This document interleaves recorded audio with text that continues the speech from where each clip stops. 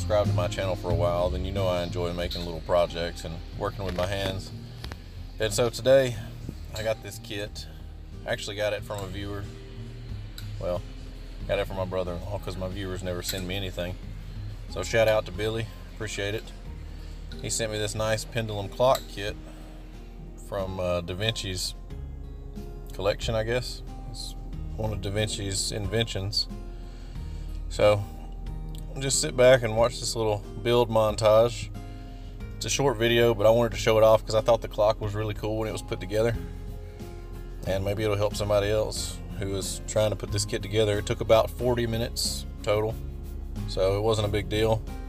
But it's pretty cool to have around. And I'm probably going to order some more of these Da Vinci kits just because they're so simple and fun. And it's nice to, uh, to watch them work. It's really amazing that he invented these back in the 1500s.